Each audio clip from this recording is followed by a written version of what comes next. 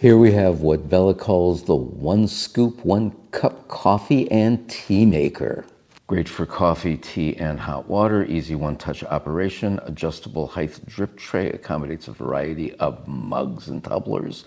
14 ounce water tank capacity. 600 watt brewing system. BPA free. That means it uses the good kind of plastic. Sustainable and reusable, permanent filter included. Let's take it out, see what we got.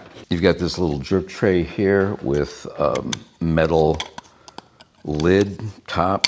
This is cool. If you uh, set it up right, you can put it there or you can put it down there.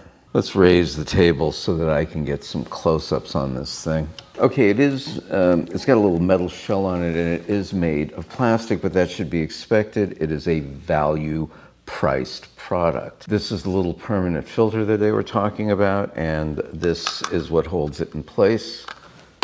Stick it there. I guess all we're missing right now is some coffee and water. Add the water to the reservoir. It's all plugged in, so let's turn it on. This coffee smells fantastic as it brews. Oh, fantastic. You know, I think this Bella coffee maker is just what I need. It's just me around the house, so one cup at a time. Don't need to make a whole pot. This way it is fresh, each and every single cup. This way it is always delicious.